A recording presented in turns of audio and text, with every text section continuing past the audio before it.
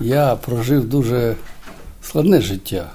Мертвих людей, які згрибали бульдозерами в ями. Нічого страшнішого в житті немає, як жити під чужою рукою, під чужою силою. І німці оточили церкву і шукали там націоналістів, бандерівців.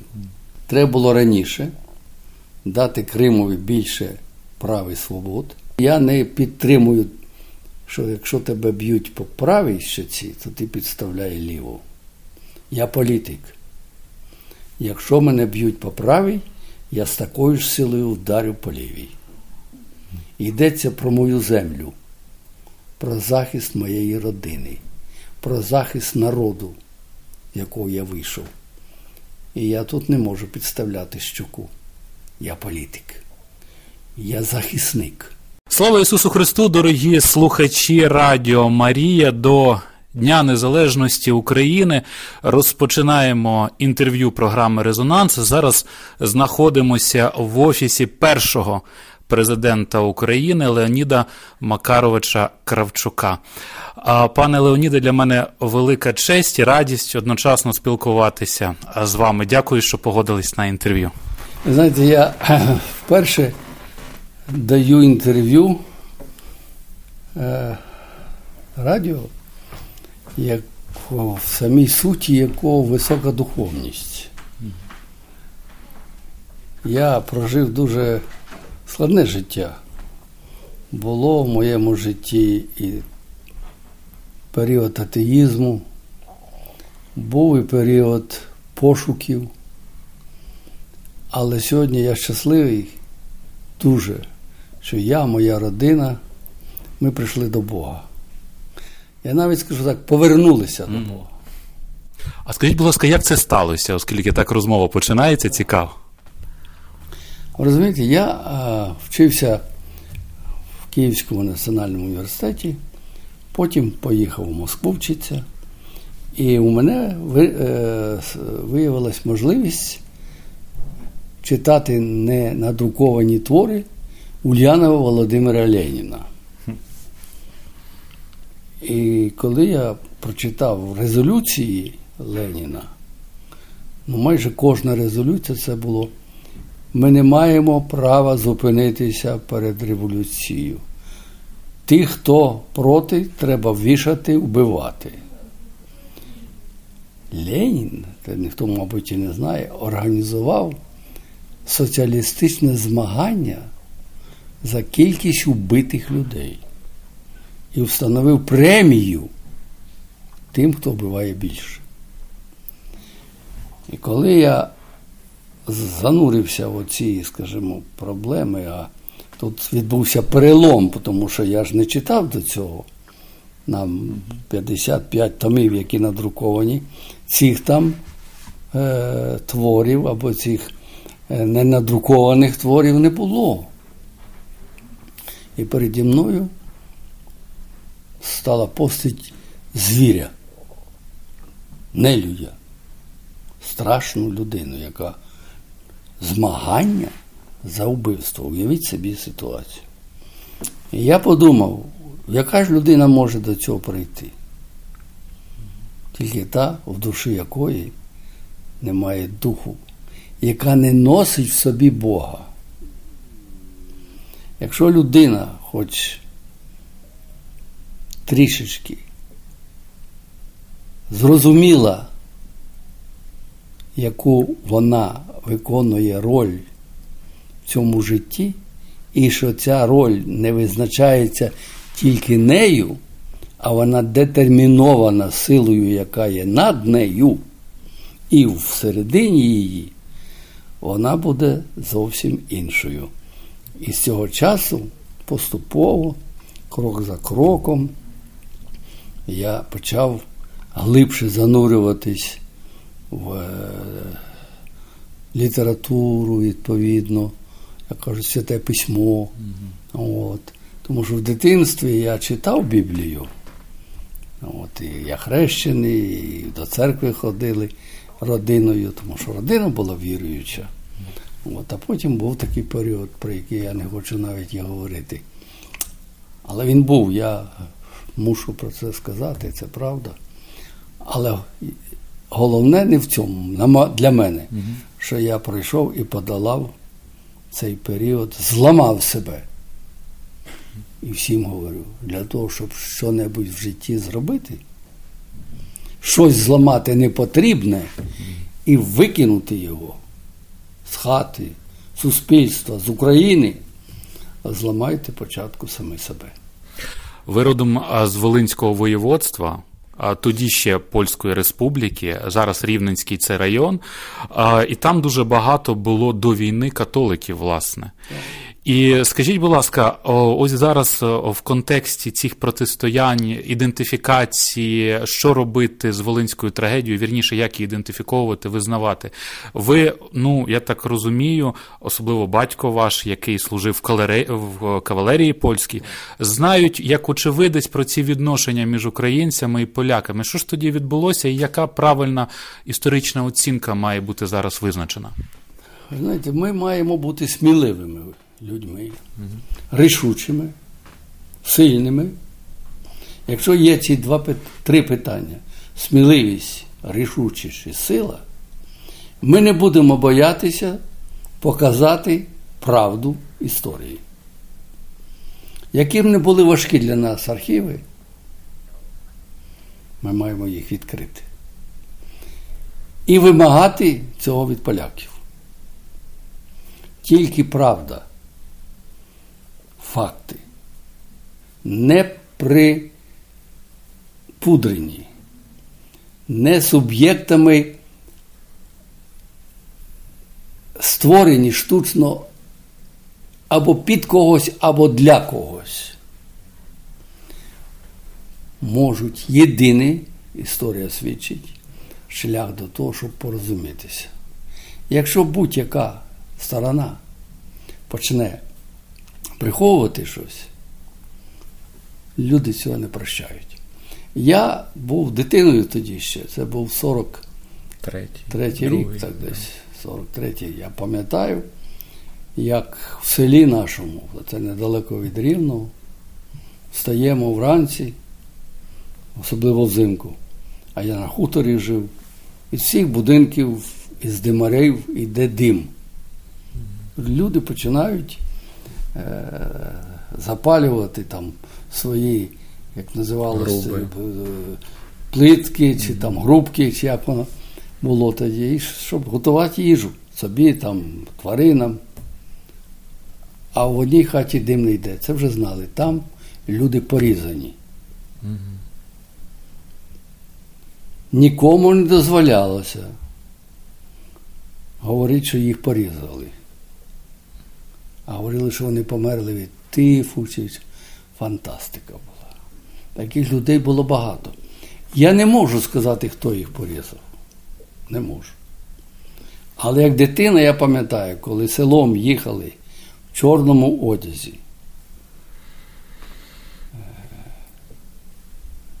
Е, люди, які сказали, це поляки їдуть, які служили, які були на службі німців, як і багато українців було на службі німців. Це ж не є виняток, тільки поляки. І вони їхали через село, молоді хлопці, і стріляли по цілях, по людях, які ходили на полях. Мені мати кричить, льоню падай на землю. Ну, це я пережив. Але пам'ятати оце і на цьому тримати в собі ненависть, це не християнська позиція. Християнська позиція тому полягає, щоб знайти добре, гуманне для сьогоднішнього і завтрашнього часу рішення. Таке рішення може бути знайдене не політиками. Леоніде Макаровичу, я передивився дуже багато ваших інтерв'ю.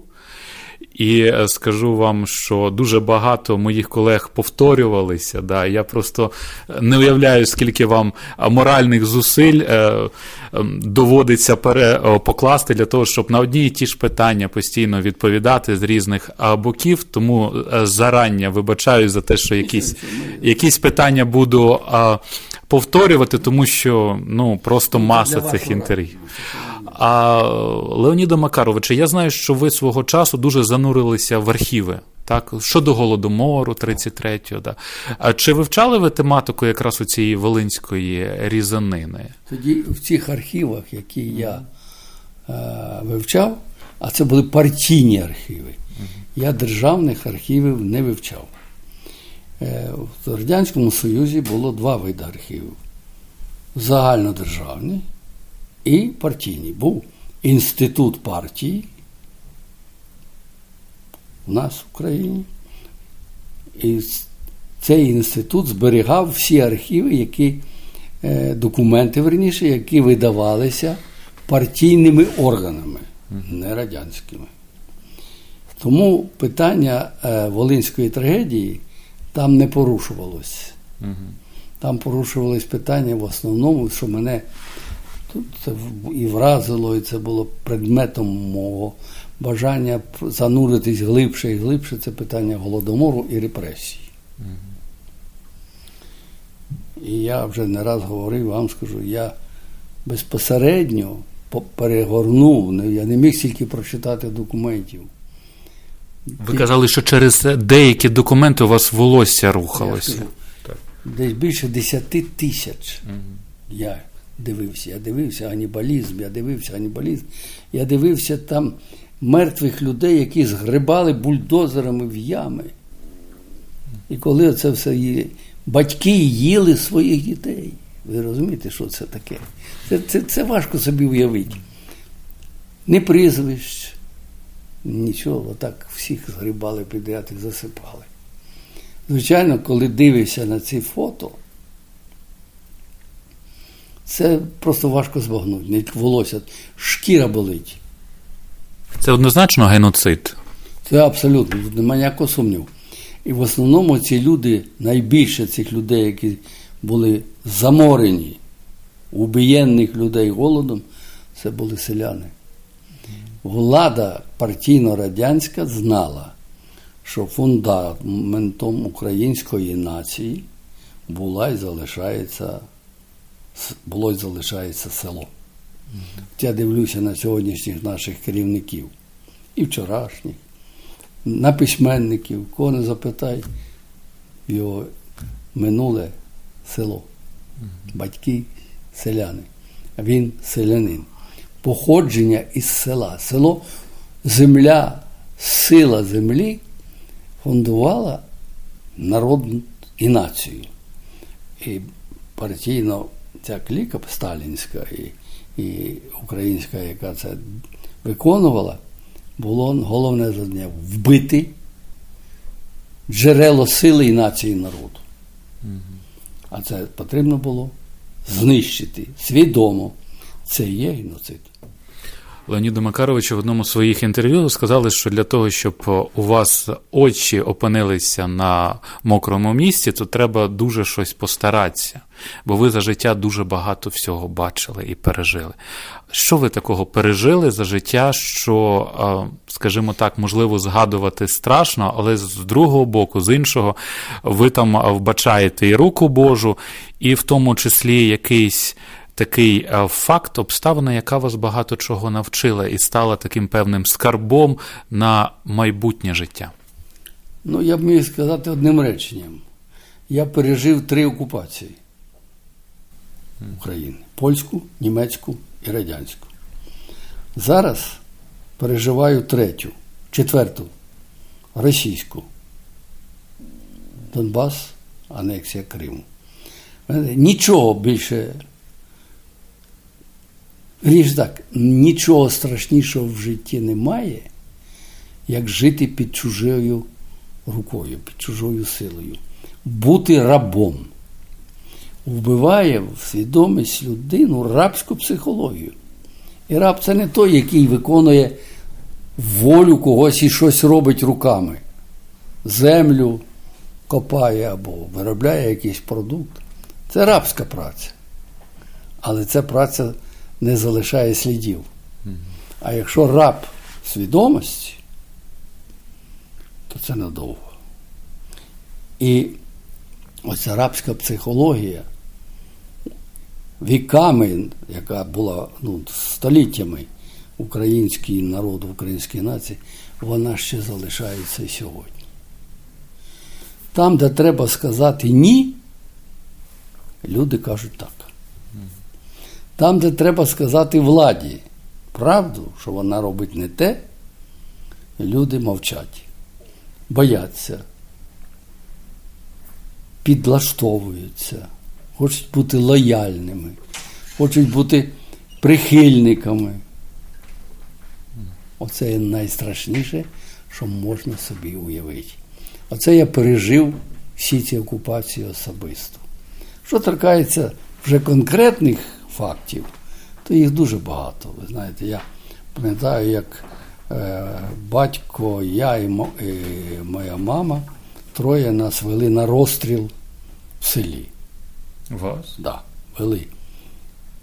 І тільки випадково тоді були якісь вказівки е, е, органам, я не знаю навіть яким і хто. Якщо їде автомобіль з військами там якимись, і хтось йде вночі, скажімо, там по не по селу, а по е, території якійсь землі, куди він йде, треба зупинитись і запитати, хто це йде. І ці люди, які нас вели, я до цього часу не знаю хто. Одні кажуть НКВД, другі кажуть бандерівці, треті кажуть Мельниківці. Не знаю, був ще малий дуже.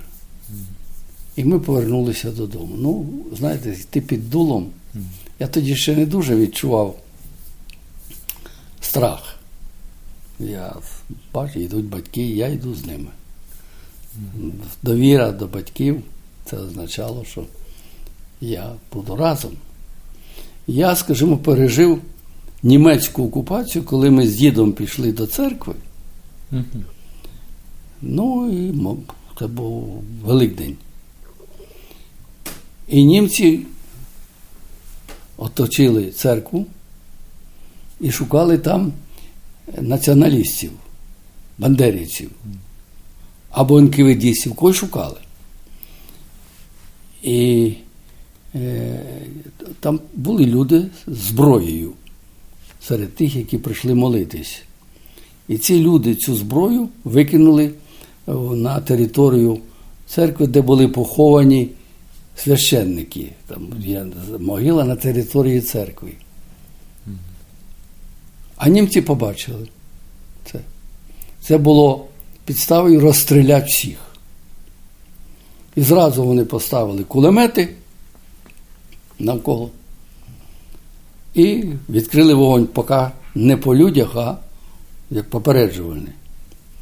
Я пам'ятаю, дід кинув мене на землю, ліг на мене. Я не знаю, скільки ми там лежали. Але священник наш знав німецьку мову. Я, коли вже був президентом, поїхав в Америку, я там зустрів сина цього священника. І він пам'ятає дещо. Це була така розмова цікава, така висока розмова людини, яка розуміла, що це означало для нас бути вбитим, похованим на території церкви, куди прийшли молити, куди ми прийшли молитися. І коли вже це все закінчилось, і я випав з-під з-під діда, я вже не міг піднятися. Ну, важко ж дід. Не маленький у мене був дід так по фізичній але все ж таки на дитині лежать важко. Я привів тільки два приклади. Це такого, знаєте, ну, життєве, коли йдеться про фізичне життя. А скільки я можу привести прикладів, коли йдеться про моральні устої? Ну, давайте хоч один ще. Ну, скажімо, я вже один привів вам, і ви можете, щоб більше не шукати, це мої, е, моє вивчення Ленінської бібліотеки. Я людина, яка була в партійній системі. Я людина, яка вірила в ідеологію комуністичної партії. І коли я прочитав оце все, розумієте, все це рушилось раз в один день. Ну, це Мене може зрозуміти тільки та людина, яка хоч якось трішечки це пережила. це злам, це удар атомної бомби по свідомості людини. І от цей удар я переніс.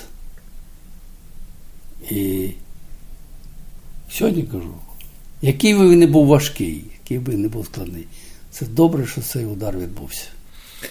Леоніде Макаровичу, з вами дуже цікаво спілкуватися.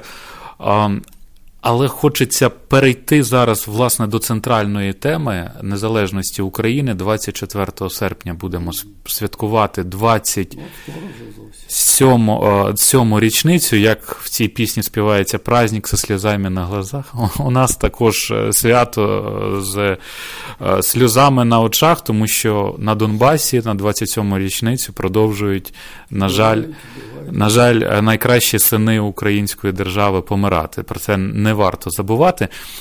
Але почнемо цей відділ нашої програми з позитивного. Коли у вас в серці, в голові зажеврила надія на те, що і усвідомлення того, що Радянський Союз вже починає рушитись, і що, в принципі, до незалежності України рукою подати. От коли перші думки такі проскочували? Знаєте, я е, коли став головою Верховної Ради України, я одночасно був членом Ради Федерації Радянського Союзу. І був е, одночасно був членом Державної Ради Радянського Союзу. Це найвищі органи державної влади не України, а Радянського Союзу. Це дало мені можливість, крім того, що я вже вам розказав про Ленінську бібліотеку, бачити країну зсередини. Не тільки Україну, а всю країну. Як вона живе, які в неї перспективи, які документи приймаються, як вони готуються, як на них реагує народ. Це був перший такий поштовх до того, що я почав розуміти. Я знав раніше, що така держава, яка вбиває своїх людей, не може е, довго тривати. Але скільки? Важко сказати. Рік, 10, 15, 20, 40. Ну, ніхто не може сказати. А тут, коли я побачив внутрішні пружини, які вже починають розпирати державу, що настає час реальних дій. І коли я поїхав в Київ, уже, ну, повернувся в Київ після цього, і почав глибше аналізувати під впливом тих знань, які вже мав там, і я побачив, що в Україні це ще гостріше постало. В Україні розпочав свою діяльність народний рух, з яким я, як ви знаєте, вів дискусії на телебаченні. Це не просто були дискусії для мене е, з супротивником, а були дискусії для самопізнання, для самовивчення. Я через ці дискусії більше дізнавався і про себе, і про свій народ, і про націю, яка може постояти за себе.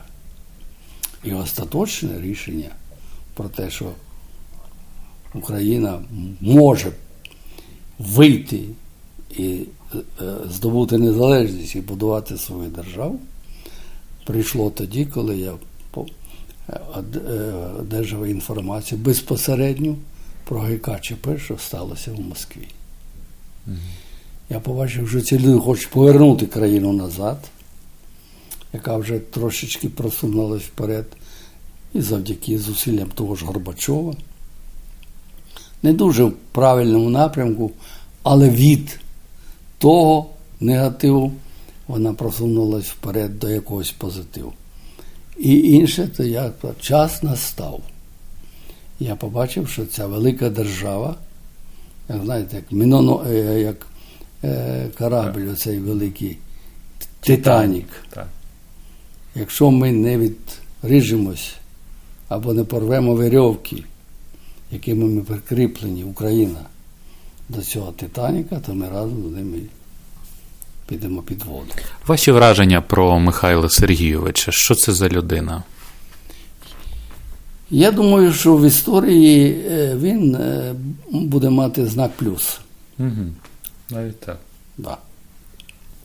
Бачите, він багато чого не зробив, його критикують справедливо. Але він розпочав те, чого до нього ніхто не розпочинав. Свободу совість, е, свободу слова, демократизацію, суверенітет. Таких слів ми раніше навіть не вимовляли. Плюралізм. Плюралізм і таке інше. Тобто він розпочав на території забутої Богом держави такі рушійні сили привів до дії, які відкрили дорогу до змін. Це в цілому. Як особистість, людина дуже амбітна, і він е, так робив це, але хотів бачити скрізь тільки себе. Оце була його найбільша проблема. Якщо щось робиться навіть добре, але без нього, то воно не підходить. Ваш досвід спілкування з ним який? Ну, в цілому, я б говорив те йому, що я думаю. Не все йому подобалось. Він давав вам говорити? Давав. Ну, а як ти мені можна дати не говорити? Аби він, скажімо, сказав мені одне слово. Замовкніть, я повернувся, пішов. Я ніколи більше до нього не прийшов би. Він знав, що Україна це не просто Кравчук. Це мільйони разів більше від Кравчука. І що я спираюсь на волю мільйонів. І що роль України, він це знав, і в творенні Радянського Союзу, і перетворенні все, яке відбувалося, одна з перших. І що, скажімо, втратити, він це говорив публічно, вплив на Україну, це означає катастрофа для Радянського Союзу. Так і сталося, до речі. А щоб цей вплив не втратити, не можна з президентом, з головою Верховної Ради України говорити як з підлеглим. Якось була така розмова після Біловезької пущі. Він так, Леонид Макарович, ви повинні переїхати в Москву. Я говорю, а чому я должен? Уже після підписання, да? Да. Почему я говорю, я должен? Ну, надо посмотреть, вот тут вы там неправильно сделали, надо поправить. Я говорю, это вы считаете, что неправильно? Я считаю, что правильно. И в Москву, я говорю, не поеду. Тобто, я з Горбачовим говорив, коли я це розповідаю, як?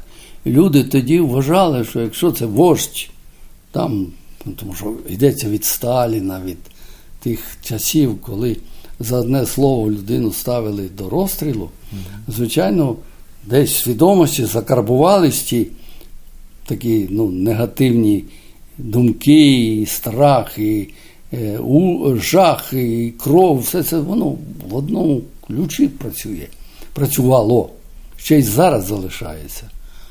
Але, ну, бачите, я міг собі дозволити Леоніде Макаровичу, а були підписані оці в Біловежській пущі відомі документи, які розділили Радянський Союз, але багато, в тому числі, здається, і ви, е, свідчень е, давали, що коли ми туди їхали, тобто президенти трьох країн, то до кінця не знали, чим закінчиться. А, не було страшно, що це може закінчитись для вас особисто взагалі летально? Тобто, що щось буде. Ну, скажімо, ми домовились раніше в Москві.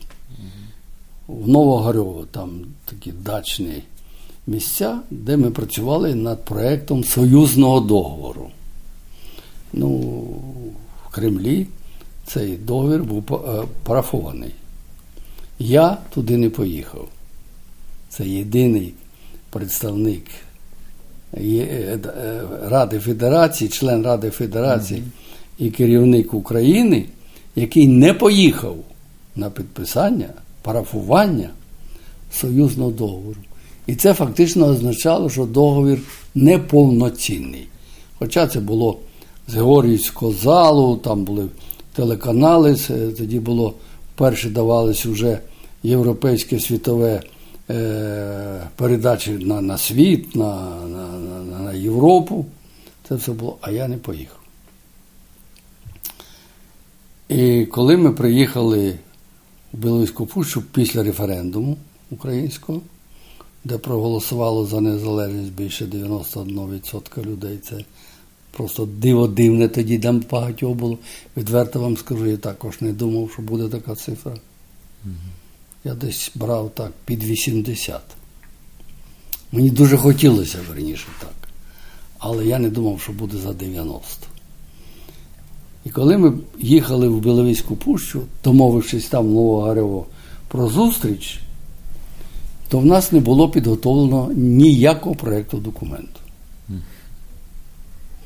Перша наша зустріч була така. Може, нам слід зробити заяву, не робити, е, не підписувати якийсь документ для ратифікації, ну, з усіма ознаками міжнародного права і таке інше, ну, як документ, а заяву, що, мовляв, Новогарьовський процес зайшов в глухий кут, і що нам треба шукати вихід. Смисл такої заяви говорив Борис Єльцин. Угу. Я відповів, що в нас відбувся референдум. Я не можу робити іншої заяви, ніж зробив заяву український народ. Він проголосував за незалежність, розумієте? І обрав мене президентом. Що це означає? Що я маю виконувати його волю. Або написати заяву. Не можу, не хочу, йду. Ну, Немає іншого шляху. А я підтримую свій народ, кажу. Моя думка співпадає. І тоді стало тому часто і Горбачов каже про мене негативи, що мов, Україна була головним там, ініціатором. Да, ініціатором так, так. Це правда. Не ініціатором, а позиція України була чітка і зрозуміла. Угу. І тоді стало зразу питання: вже про, про заяву не може йти мови, а треба готувати документ. І коли почали готувати документ, то виникло ще одне питання. З чого починати? Поки існує Радянський Союз, це останнє далі писати неможливо. І тоді Росія, а точніше Бурбуліс, угу. тоді був прем'єром, так, так. підготував проєкт першого пункту нашої, нашого документу, угу. який я не по документу, по пам'яті скажу вам. Приблизно так. Навіть близько до тексту. Радянський Союз як геополітична система, як суб'єкт міжнародного права перестає існувати. Це зараз так, знаєте, уявіть собі, країна, яка має колосальну велику армію 5 мільйонів. Країна, яка має ядерний потенціал на рівні Сполучених Штатів Америки, партія 19 мільйонів, комсомол, профспілки, активісти. Я не знаю ще хто. І раптом така заява. От тоді виникало питання: а якщо нас чують, то можливо вже думають, що ж робить з нами. Такими заявниками. Але тоді пішло швидко. Є перший пункт, який свідчить, Радянського Союзу вже немає. Ну, формально, документально він ще є, фактично. І тоді далі пункти вже виходять з того, що треба говорити про нову нове утворення. І це нове утворення називалося СНД. Ось так було фактично. І, і тоді, коли ми сповістили це світові, поговорили з Бушем по телефону, поговорили з іншими, з Горбачовим в тому числі, стало зрозуміло, що почалася нова сторінка життя. Ми там були різні люди. Кравчук, Шушкевич, Єльцин, там, прем'єри зовсім різні. Але в цьому питанні про життя Радянського Союзу і про нове утворення іншого життя ми були одностайні, консенсусом прийняли. Улюблене слово Горбачова. А колінка не тряслися, не було страшно, коли обговорювалися ці всі нюанси. Ну, ви знаєте, на це запитання я вже не раз відповідав. Що таке страшно? От ви боїтеся, скажімо, вночі одному будь в лісі. Ну, нема такої людини, щоб не боялася. А мало там. Звір якийсь там. Чи заблудишся в лісі. Починається страх. А коли ти знаєш, що ти підписуєш документ, а на тому боці десятки мільйонів людей, десятки, Україна 50, Росія 150 і так далі. Це навіть сотні мільйонів. І абсолютно не можеш передбачити все зразу. І коли ти взявся поставив підпис, ти ж нічого не страшно. Леоніда Макаровича багато обговорювали журналісти і запитували у вас, тому числі не можу і я не поцікавитися. Кажуть, що навіть були такі напружені моменти, що доходило до рукоприкладства. Там був конфлікт між Вітольдом Фокіним і Бурбулісом. От про це говорять. Чи щось думаю, подібне було, чи це міфи? Надумано? Ніякого конфлікту. Абсолютно. Були розмови, дискусії. Причому, якщо хтось знає характер Вітольда Павловича, високогрудованої, багатої розумом людини, і знає Бурбуліса, філософа, який ніколи не підвищує навіть голосу. Він говорить тихо і переконливо. То додуматися до того, що між цими людьми могло бути конфлікт, навіть, як ви кажете, через рукоприкладство, це може тільки людина, яка нічого не знає, або свідомо хоче перекрутити ситуацію. Були думки різні.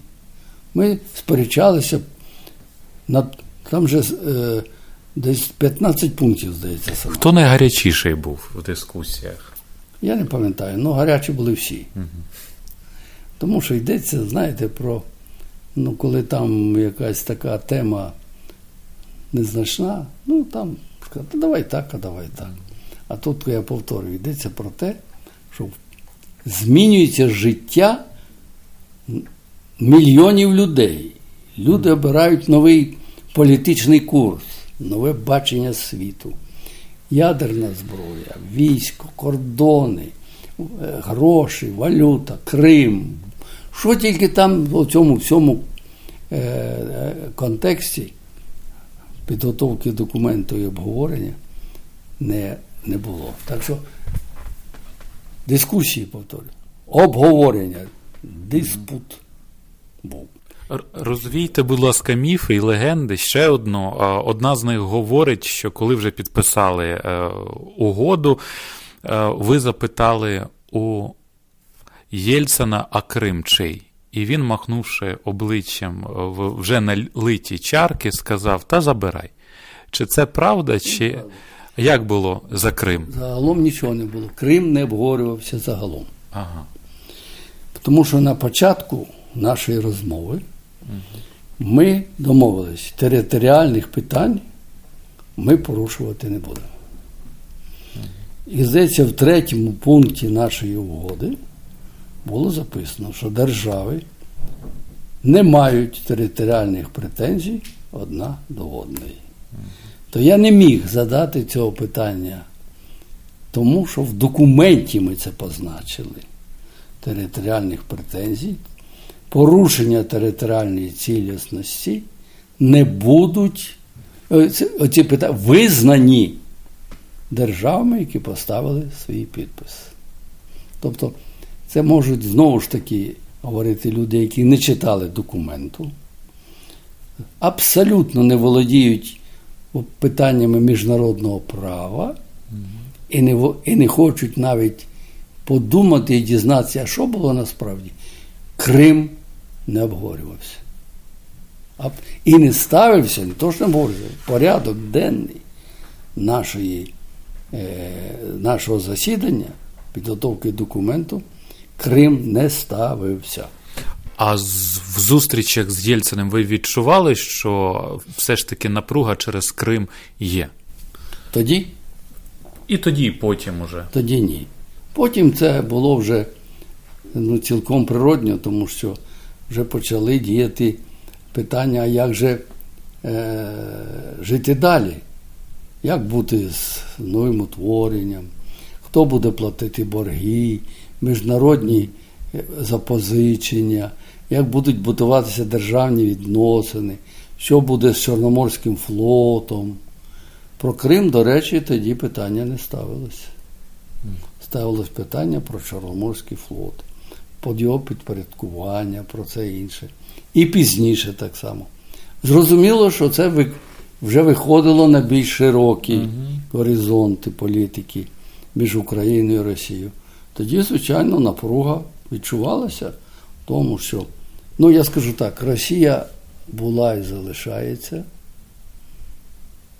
державою, яка ніколи не захоче відпускати із своїх обіймів Україну. Власне, про це вам сказав і Єльцин. Що чи ви вірите, що Україна буде без Росії? Да. І одним із перших документів, які підписав Єльцин, який подав з Державної думи, був документ про стратегію зовнішньої політики. І в цьому документі було таке положення. Україна, я російською мовою, ну, скажімо, оригіналом. Україна була, есть и будет в системе стратегических интересов Росії. Все. Цим все сказано. Що це означає на ділі? Це означає те, що сьогодні робиться. Тільки Єльцин, на мою думку, більш був дипломатично підготовлений, більш виважений, більш спокійніший. І з ним можна було вести дискусію. Путін людина КДБ. Ви зустрічалися з ним? Звичайно. Людина КДБ. Ваші враження про Я нього? вам кажу. Людина, яка вихована в системі спецвійськ. Він багато років перебував в Німеччині в складі наших військ радянського, не наших, Радянського Союзу, по інерції говорив. От. І він там набрався і сьогодні в собі несе все це. Людина, яка має дуже великі амбіції. Аби він свої амбіції обмежував тільки Росією, я не думаю, що розпочалася б агресія на Донбасі і анексія Криму. Наразі він найпотужніший політик у світі. Ну, я так не думаю. Він агресивний політик. І це видається людям, які його не знають, або якісь е, оцінюють сміливість постановки питання як високі політичні досягнення. От оці рейтинги, які роблять, я дивлюся, часто комедія. Не те, як людина, що людина в собі несе. От аби я зустрівся, от ви так от сидите, як Путін. Я йому сказав, Володимир Володимирович, скажіть, будь ласка, ви дійсно хочете, щоб на Донбасі вмирали сини України і сини Росії? Він би вам збрехав у відповідь. Брехав. Ну я прийшов би з документами. Що брехня очевидна, в мене є такі в Україні є документи. Він сказав, що тут Росія не при чому. Але всі знають, Нам, Що нам мат- там, там нету. що матері плачуть російські і вже відкрито плачуть. І в нас є документи про російських полонених в Україні. Де вони взялися? Саме прийшли. І ми знаємо, що біля 300 тисяч найманців на Донбасі. Це величезна цифра. І вони знову ж таки з неба не впали туди. І всі це знають. Так що брехня, він може говорити, що будь-за що. Але я б йому задав це питання. Коли він почав говорити, він показав би документи. Він пов- продовжував повторити, сказав би, тоді я розмову з вами завершую. Мене нема про що і з ким говорити. Чи були шанс, е, шанси, е, коли ви були президентом України, якось вичавити Росію з е, Крима у вигляді Чорноморського флоту? І чи ви розуміли, що це певний такий очах, який колись може вибухнути? Шанси завжди були. Тільки це питання було, як правило, обговорення не тільки президентом на Верховній Раді. Верховна Рада 450 депутатів. Тоді із 450 депутатів 370 було комуністів. Тобто ми не могли набрати навіть 226 голосів. 370 це 30 і 50, якщо грубо. Це 80 тільки депутатів були не комуністами із 450. А для того, щоб прийняти просто закон, не конституційний закон, 226. Я задаю запитання. Ви вносите документ в Верховну Раду. І в цьому документі записано, що так, Росія така, давайте люстрацію будемо, комуністів будемо викидати за це все. І комуністи самі проти себе проголосують. Для того, щоб робити якісь висновки, я всім прошу спочатку вивчити історію. Не тому ми не робили, що не хотіли. Потрібно було замінити Верховну Раду. А коли я поставив питання про заміну Верховної Ради, мене не підтримали. І тільки тоді, коли постало питання про дострокові вибори президента, я сказав, вони будуть, якщо і будуть дострокові вибори Верховної Ради. Ми підемо разом на дострокові вибори. І пішли. Тобто потрібен був час. Не можна так швидко ну, змінитись. От Леонід Кравчук був от такий.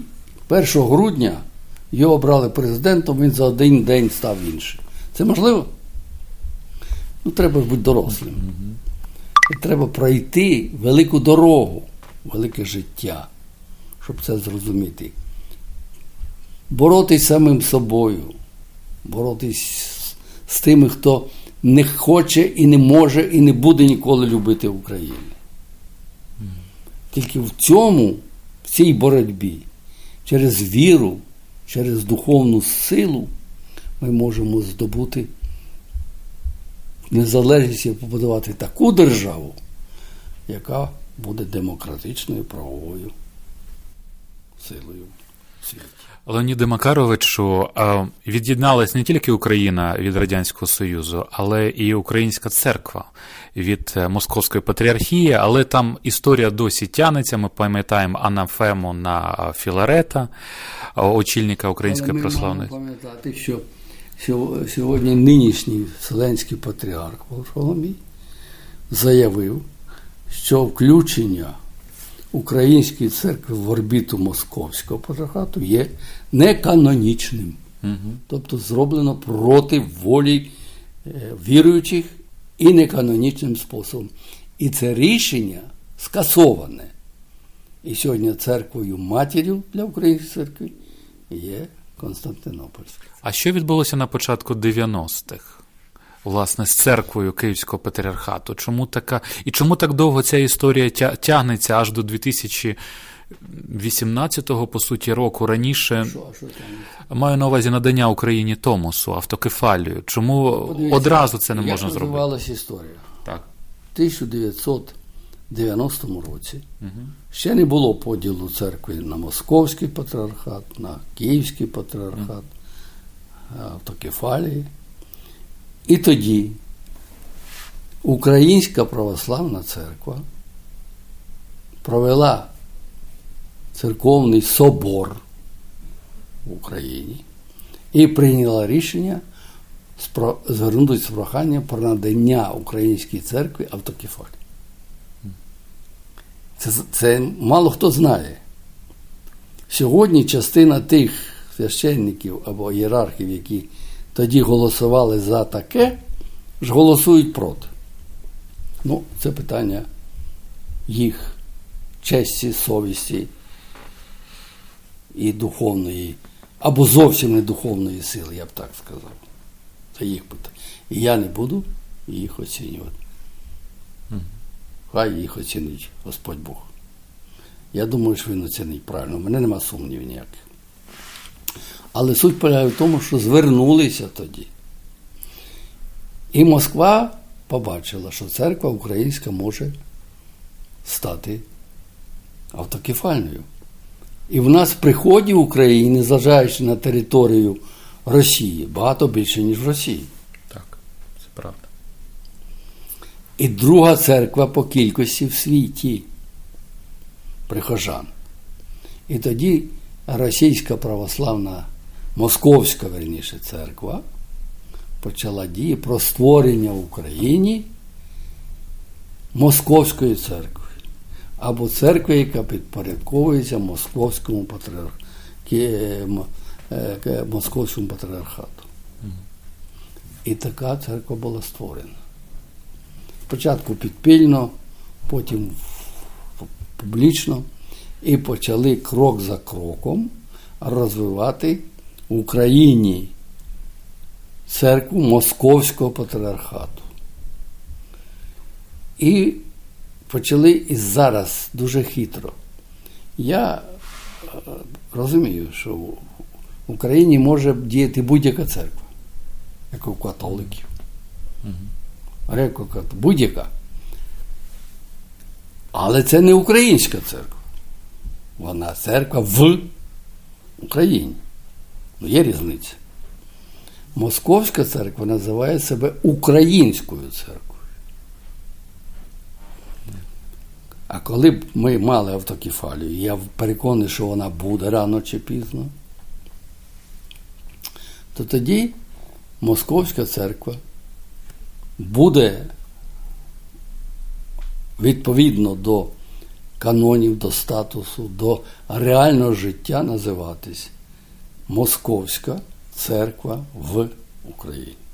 І вона має право, ніхто не може її заборонити віруючим ходити молитись в ту церкву, яку вони хочуть. До речі, закон України про е, свободу совісті і церкви прийнятий ще в 90-му році, підписаний мною ж таки, свідчить про таку можливість законного, законної участі в церковному житті, повторюю, будь-якої церкви, грек, католиків, інших які живуть в Україні, мають свої церкви, живуть за законами українськими, моляться Богові в своїх церквах і мають абсолютно одинакові права з віруючими українською. Абсолютно одинакові. Леоніда Макаровича, переходимо до останньої теми нашої сьогоднішньої програми. Я лише нагадую нашим слухачам, що ми знаходимося в офісі першого президента України Леоніда Макаровича Кравчука до Дня Незалежності в програмі Резонанс. У нас сьогодні особлива нагода поспілкуватися з такою великою постаттю. Леоніда Макаровичу, ось з вашої з вашого дозволу відновимо події, які передували цій всій війні. Я читав інтерв'ю і дивився інтерв'ю Дмитра Гордона. Ви розповідали там, що буквально в день побиття студентів на Майдані ви були з Януковичем на полюванні, і він мав намір їхати в Київ. І поїхав. І поїхав, але не дійшов до людей. Чому? Він запізнився з тим, щоб прийти до людей. Тому що коли людей, а точніше студентів вже побили і пролилася перша кров, це показано по, по телебаченню, по всім документально, били. І не тільки студентів, а й там і журналістів, які були, в тому числі іноземних, це вже була не просто розмова з студентами, а це було побиття. І коли вже відбулося побиття, Януковичу не було куди йти. Його б там теж побили. Це зрозуміло. І це було правильно. Як можна прийти до людей, яких незаконно б'ють, тільки за те, що вони хочуть одного, щоб, президент України підписав документ про європейський вибір. Нічого більше.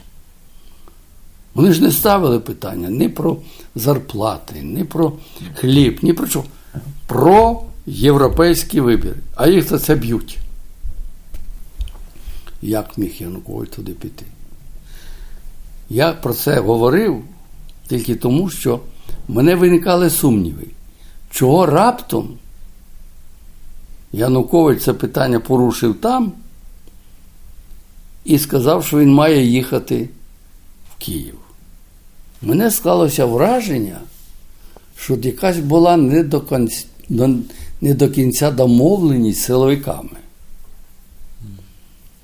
Очевидно, не було директиви бить. А коли вступають в контакти люди, коли бійка починається, знаєте, за радянських часів, коли збирався натовп, були провокатори. Служба безпеки мала своїх провокаторів. Вони також ходили в цей натовп і випадково наступали людям на ноги. Прийшов до тебе і на напалість великий наступив, що тобі так повернув. Той, що робить, розвернувся і вдарив людину. Все, почалася бійка. А коли бійка почалася, як і війна, зупинити дуже важко. Головне не допустити. Янукович вже не управляв ситуацією і не міг прийти до людей і сказати так. Він міг піти на телебачення, пряме телебачення сказати, це зроблено незаконно. Я покараю тих, хто це зробив. Я звільню з роботи тих, хто це зробив, незалежно від того, хто це міністр, прем'єр-міністр, не має значення. І на другий день розібрався і зробив це. Угу. Я думаю, події розгорталися в іншому напрямку. Він цього не зробив. І до кінця захищав тих людей, які ну, діяли в такий спосіб. Це ну, не можна цього робити. Коли піднявся народ, зупинити народ можна тільки або великою правдою і особистим прикладом, або побити цей народ, як це зробили, скажімо, деякі країни. Леонід Макарович, просте запитання, чому винні у побитті студентів не сидять, і ті, хто розстрілював мітингувальників, також не судять публічно і не представляють на суд людей? Мабуть, не одна причина. Але одна з причин того, що ті, хто досліджує це питання, не можуть прийти до завершального етапу. Їм не дозволяють. Друге питання. Ті, хто сьогодні займають пости, я не буду називати прізвища, вони мають застереження, а раптом їх прізвища десь появляться. І це все разом взяте зупиняє вирішення дуже складного питання побиття і смерть людей. І до мене часто звертаються журналісти в тому числі. Слухайте, як так можна прийти до влади через кров людей і не прийня... не вжити кроків, будь-за що відвертих, щирих і обов'язкових, щоб сказати, хто ж таки винен. І не другорядних людей називати а назвати тих, які справді спричинили цю трагедію для України. Я думаю, що це два, дві основних причини. Але час пройде. Ну, Люди смертні прийдуть до влади ті, які абсолютно не мають до цього ніякого відношення цього процесу Майдану. Де б вони не були в Україні, в Росії чи в Європі. Ви знаєте, я дивився, як і мільйони мільйони українців круглі е, столи е, чотирьох президентів України: Янукович, Ющенко, ви, Леонід е, Данилович. І я бачив, ну можливо, мені так здалося, але приречені. Обличчя колишніх президентів і обличчя нинішнього президента тоді Януковича, який робив гарне лице при поганій погоді. Тобто ви відчували, що ці круглі столи нічим не закінчаться? Ну, ви знаєте, відчувати я єдине, я скажу, ідея круглих столів належить мені особисто. Я прийшов до Януковича і кажу, Віктор Федорович, тут така ситуація, треба шукати вихід. Я десь відчував, що назріває великий поштовх вулкану. І думаю, треба ж не допустити конфлікту. Я знав, що наш конфлікт може спричинити теж в Європі будь-які дії і невідомі для мене дії Росії. Це було основне для мене питання. І Він питає, а як? Я кажу, ну я можу так, якщо швидко відповісти на це запитання, давайте спробуємо зібратись на круглі столи влада і опозиція. Влада і громадські організації, які стоять на українській позиції. Ну, скажімо, 1 грудня там е, організація, інші письменники, Павличко, там, так. інші. Вони всі каже, Янукович, це добре, давайте. І ми провели три круглих столи. Два з них пройшли, ну так, нормально. Третій останній, де вже був Янукович. На тих столах не було Януковича. Був Янукович, Азаров, прем'єр-міністр, був секретар Ради безпеки і оборони, були глава адміністрації, міністри були, голова Верховної Ради України. Тобто зібралася вся верхівка влади. З того боку була опозиція і Кличко, і Яценюк. Коротше, коротше е, тягнебок, коротше кажучи, була дискусія, стіл за столом одні напроти інших сиділи дві політичні сили. І вели між собою дискусію. Цей стіл відкрив можливість сподіватися, що є шлях і спосіб не допустити великого протистояння. І коли круглий стіл закінчився, або завершувався, до мене Янукович звернувся з такою пропозицією. Леніно каже, а якщо ми проведемо круглий стіл прямо на Майдані? Відверто скажу, я був здивований. Така сміливість, там тисячі людей. Я мовчу. Ну, так, ну, сказати, щоб щоб я злякався і зразу сказав, Віктор Федорович, вас можуть там щось задушити, чи нас всіх разом. Ні, я кажу, ну що ж, давайте вирішувати. А ви, каже, зможете бути там модератором? Кажу, зможу. Я не думаю, не думав тоді. Я сказав, зможу. Ну раз йде президент і всі. І я не піду. Ну як це так? Тому тим більше, що я маю що сказати і можу що сказати людям. Проходить день, і він мені телефонує і каже, не мені не рекомендують, можуть бути провокації. Тобто я до чого? Сказати, що ці столи не відіграли жодної ролі. Почалися дискусії. Коли люди починають говорити, це вже добре. І я думаю, що ці круглі столи підштовхнули до наступних кроків, коли за стіл переговорів сіли опозиція і влада, і були залучені три держави Франція, Німеччина і Польща. І вони були гарантами проведення в Україні рішення, щоб не допустити крові. І на цьому на цих засіданнях обговорювалось важливе питання про дострокові президентські вибори в присутності Януковича. Він, я не був на цих зустрічах, але я з преси, з інших так сказати, джерел знаю, що він сказав, це питання можна обговорювати. Як і форми і так далі, але цим самим він сказав, що він готовий до дострокових виборів. Це дуже важливо.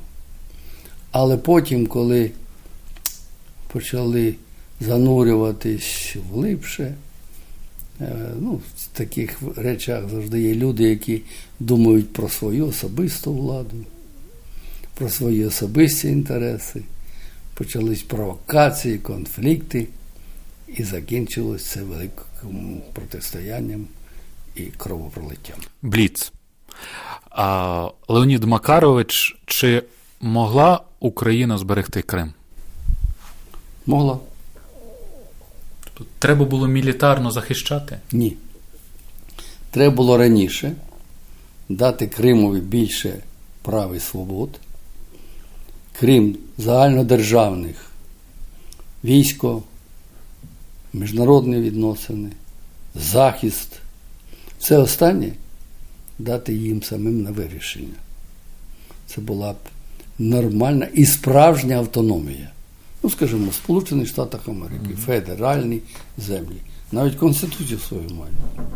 Навіть свої е, закони приймають, які в, в, кожній, в кожній землі інші. Ми цього не зробили. А вже коли розпочалася конфлікт, і в нас не було ні нормального війська, ні, ні справжніх сил, ні справжньої підтримки, а там в Криму 75% росіян. Ну, я не всіх їх ототожнюю. Є нормальні, є ненормальні, як і всіх націй народностей. Нема такого, щоб всі були. Українці всі хороші, а росіяни всі погані. Або євреї всі хороші, а німці всі погані. Є так ідіотів в кожній нації є багато. Угу. На жаль. І вже коли почалася ця ну, безпосередня, активна під керівництвом Росії, підготовлена заздалегідь агресія, ну Путін сам визнав це в своїх фільмах, в своїх інтерв'ю він це сказав. Тоді вже було важко. А тоді можна було зберегти. Не дать підставу. А так народ, маючи і національні інтереси, і маючи інші історичні погляди, зразу пішов на ці провокації. Кримський або народ Криму.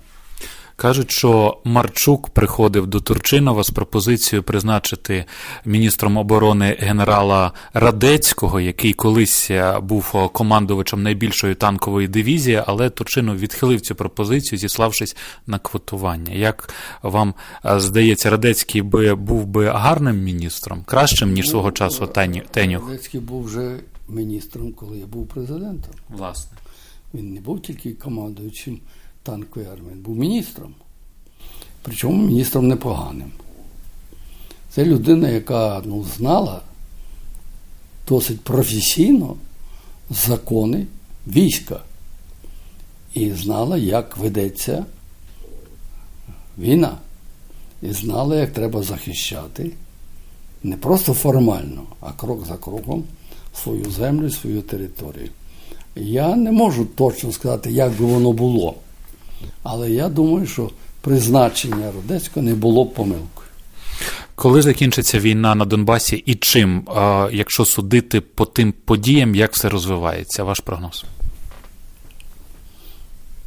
Бліз, війна закінчиться. А коли не знаю.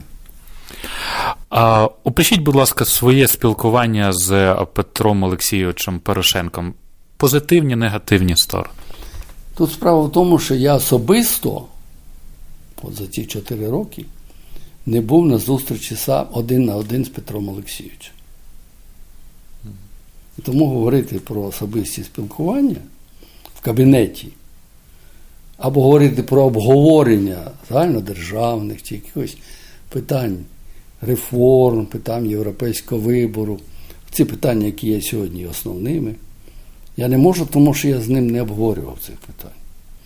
Ми були на зустрічі з президентом Порошенком трьох. Угу. Я, Кучма і Ющенко.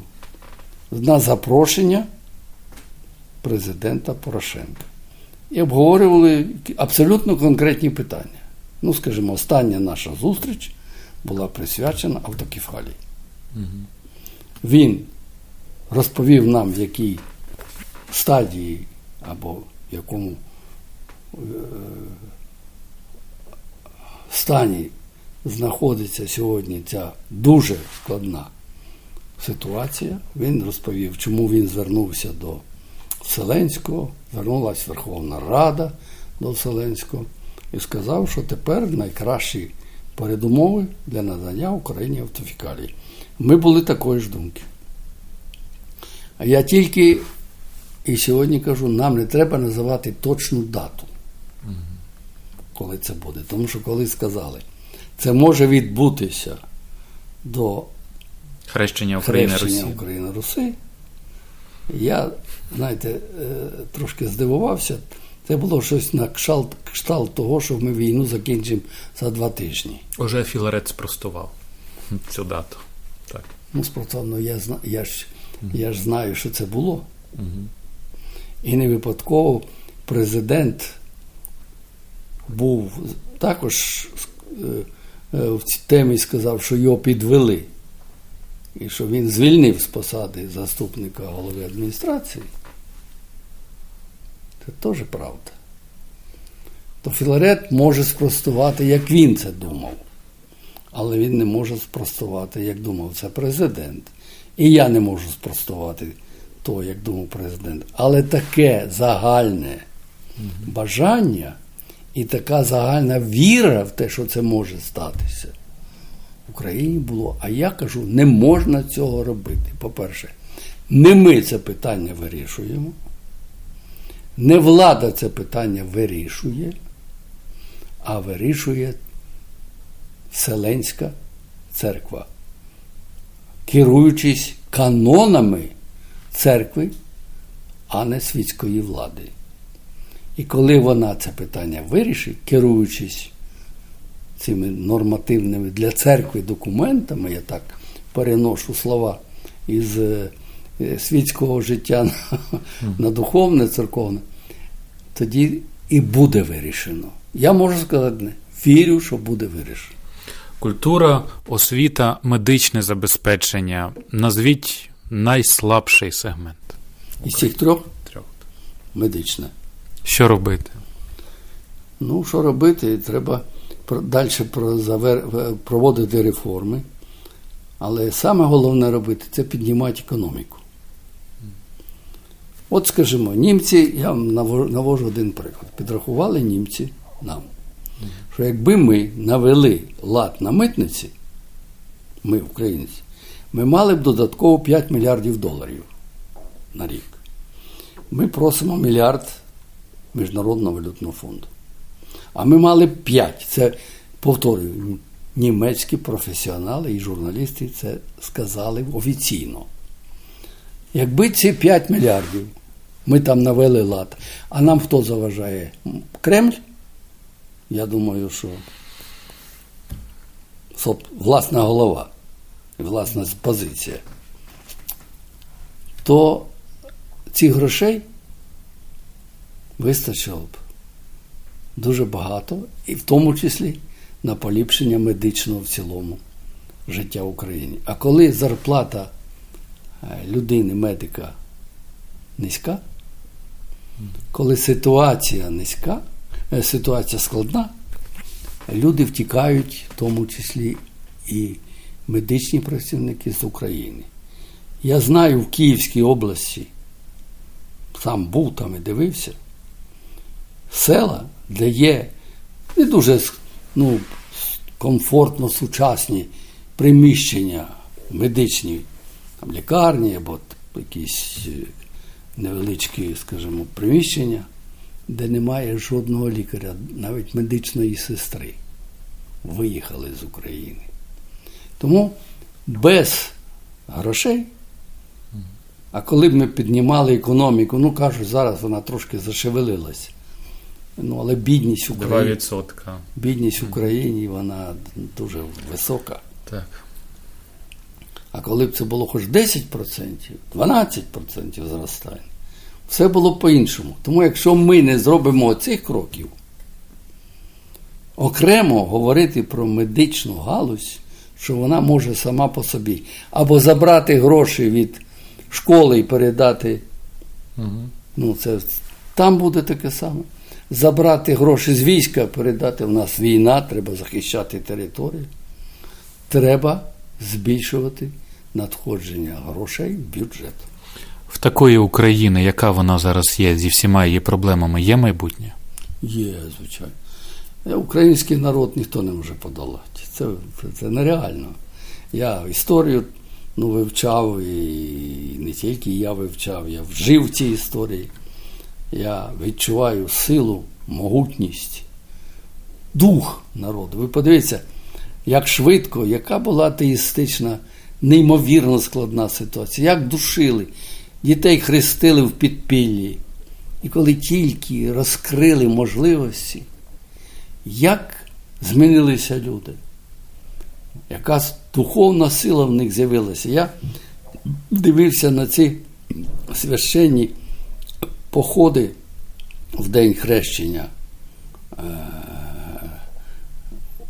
Угу. Київської- Хресне ходи. Так. хресні ходи і московських патріархій, і української церкви. Ви знаєте, я дивився на цих людей, їх яскраво показували по телебаченню. Які вони щасливі люди. Я думав собі, коли б усі вібрали в себе хоча б таку віру, як у тих, що йдуть на хресну ходу, щоб кожен відчув, що він носить в собі любові Бога, мабуть, ніхто не наважився б вбивати або йти на вбивство через війну, через насилля, через гвалтування. Образ людини, яка носить в собі дух і віру. Це сталося за короткий час. Тому подолати нас ніхто не зможе. Інша справа, що ми саме би були, ну, скажімо, більш е, такі рішучі, не згиналися, вибили з себе залишки рабства і е, лояльності, так званої. Це потрібно робити. Ми пережили б оці негаразди, які є, набагато швидше. І не допустили б до влади тих, які діями своїми перешкоджають Україні рухатись вперед. Леоніду Макаровичу, скоро президентські вибори. Чи чекаєте ви від них щось доброго? Ну, я вірю в те, що все ж таки за ці часи народ став більш грамотним в виборах. Я думаю, що на сьогодні все мен... буде менше людей, які голосують за гречку чи за 50 гривень. Тому що ми вже багато зробили довести людям, що вони зраджують своїх дітей, онуків і правнуків, голосуючи таким чином. Вони позбавляють своїх рідних дітей майбутнього. Тому що обирають недостойних людей, які купують їх голоси або обдурюють їх. Тому я чекаю від цих виборів тільки одного, що ми повинні піднятися на таку висоту, щоб не зробити ще однієї помилки. Назвіть 3-4 риси президента, який, які мають уособлювати в собі лідери держави. Я навіть е, часто починаю. От професіонал, от Так. високо освічена людина. Це важливо. Але, на мою думку, для президента найвищою цінністю є людяність. Тому що знань у всіх він все рівно не може горнути. Нереально. Але в нього є десятки людей, які йому могли б допомогти. Запропонувати варіанти. Він має можливість зібрати за одним столом одну думку і другу думку і прийняти рішення. А от людяність, честь, гідність, високий дух. Цього ніхто тобі не зробить. Тільки сам. А президент є лідер нації. І тільки ці якості можуть відкинути все останнє. І особисті зацікавлення, і гроші, і, і я не знаю що. Тому я вважаю, що це має бути саме така людина. Чи є такі люди в Україні? Є. Вони в, в перших списках. Вони є. Да. І тут, щоб виборці їх зрозуміли і навчились відрізняти чорне від білого. Я колись був в області в Вінницькій Угу. і під час виборів. Мене кажуть, пішли до церкви, подивимося. Ну, я завжди ходив от, от, до церкви, дивився, тому що це в селі джерело сили й духу. Церква. Я завжди ходив. Дивитись, як вона, які там. Ну, в церкву заходив, як. Що багато церков дуже в такому тоді було, ну зараз вже набагато краще, не досить е, е, комфортною ситуацією. Я бачив одного депутата, який бив себе в груди, там стояла маса людей, і сказав, що він так любить Україну, що буде їсти землю. І почав їсти їв. Я це бачив. А через рік він став одним із гірших депутатів України. Я не буду називати його прізвище. А Тобто він діючий активно. Ні, я, але не хочу. Так. Але я це бачу. Це мої особисті враження. Але- Тобто, як може людина збрехати на самому святому біля церкви? І на завершення, Леоніду Макаровичу, назвіть двох-трьох церковних ієрархів, з ким е, вас зводила доля в часи незалежності України, які якимось чином вас збагатили. Ну, я думаю, я на першому місці поставлю Філарета. Я з ним дуже багато спілкувався, коли він був екзархом, вже коли в часи незалежності. В нього одна позиція: Україна повинна мати свою українську церкву. Ну, ця позиція мені імпонує. Я багато спілкувався з Володимиром Сабаданом. Сабаданом. Також людина високої політичної, духовної, е, духовної і політичної культури. І він в цій непростій ситуації знаходив можливість балансувати між тими е, проблемами, які були між Москвою і Києвом, між патріархатом Московським і церквою українською. Знаходив.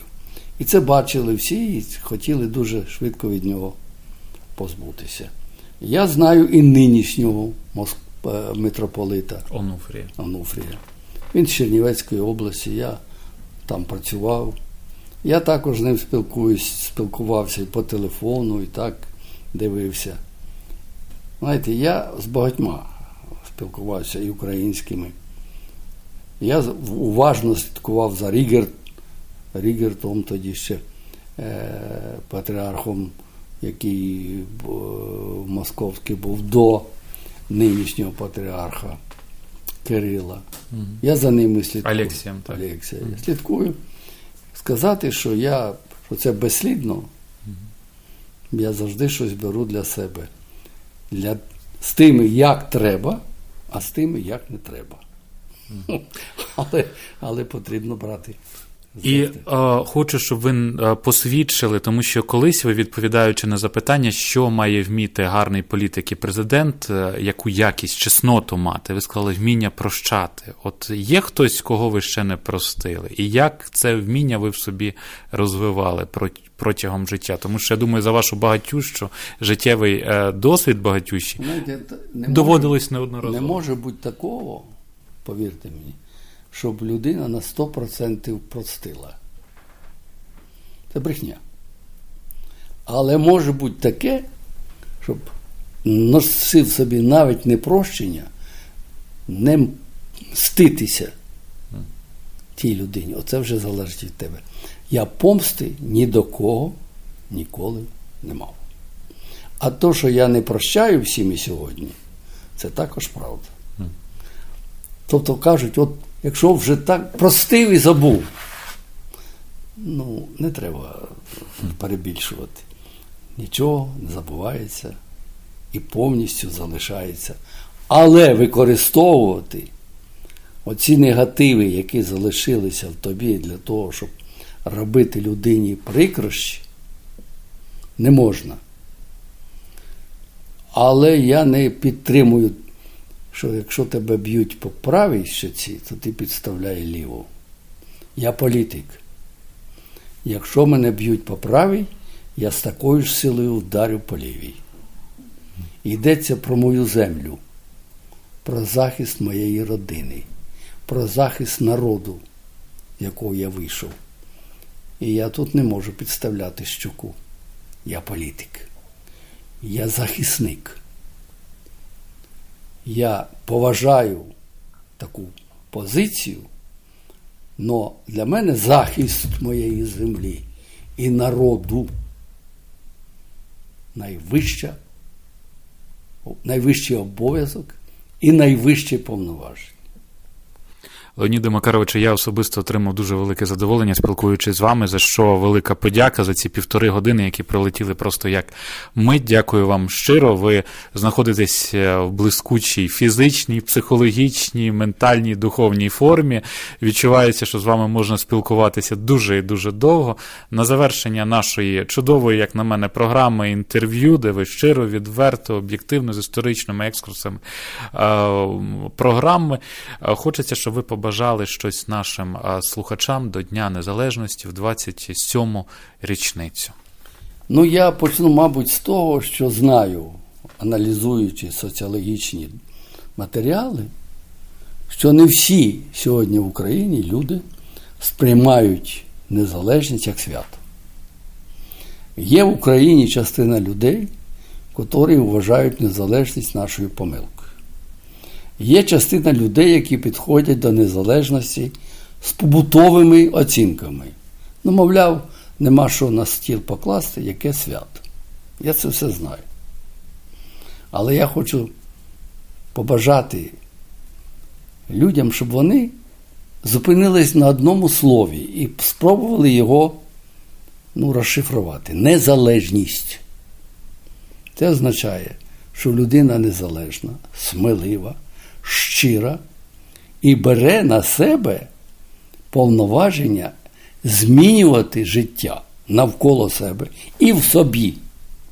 Тому перше моє прохання і побажання до людей на цей день бути незалежними і сміливими і рішучими, не схилятися не перед ким, вибивати із себе щоденно залишки рабської психології знати, що за нас змінити Україну ніхто не зможе на краще, тільки ми самі. Знати, що владу вже не призначає ЦК Компартії України, а її обирає народ. Її обирає для того, щоб вона виконувала його цілі. І кожна людина в цей день особливо, я прошу знати, що кожна людина є джерело влади. Починаючи з президента і завершуючи будь-якими чиновниками в будь-якому місці, це люди, які найняті народом, щоб вони виконували їхні мрії, їхні цілі. І якщо люди це зрозуміють, то вони візьмуть під контроль тих, кого вони наймають для виконання їх завдань. І якщо вони побачать, що ці люди не виконують, вони їх просто виметуть із української хати. І хочу побажати їм ну, такий переддень, ми що на, напередодні великої віри в те, що все пройде. пройде. І бідність, і війни, і кров, і жах, те, що ми переживаємо, це ну, може зрозуміти тільки людина, яка тут живе, яка вболіває душею, тілом, серцем за кожну мить такого життя. Це прийде. І вірю, от кожен рік повторюю це і вам повторю, що це буде найвище, найзначу, найзначиміше свято національне українського народу на віки. Тому що вперше в історії Україна стала державою.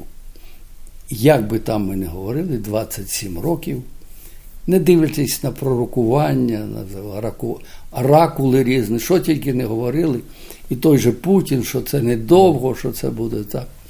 Каже, тіпун їм на язик.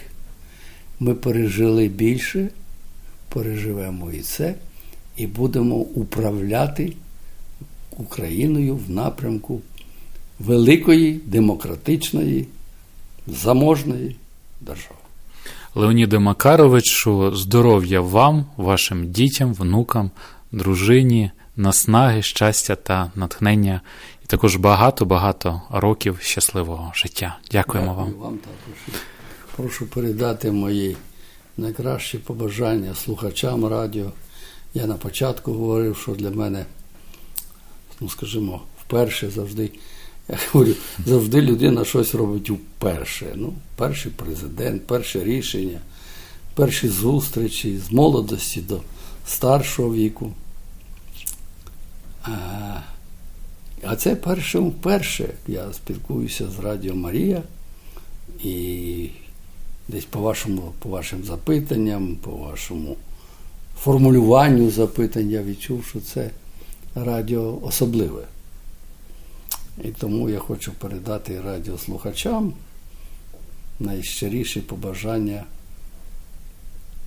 бути задоволеним тим, що вони мають причетність слухати слова, які йдуть від серця, від душі, слова, які над нами є. І ці слова мають Божу силу. З нами був президент України Леонід Макарович Кравчук. Дякую вам. Хай вам щастить.